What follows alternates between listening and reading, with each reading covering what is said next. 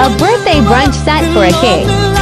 And I found out my brother was a air station commanding officer. Only for black men to ever hold this position. Major accomplishment.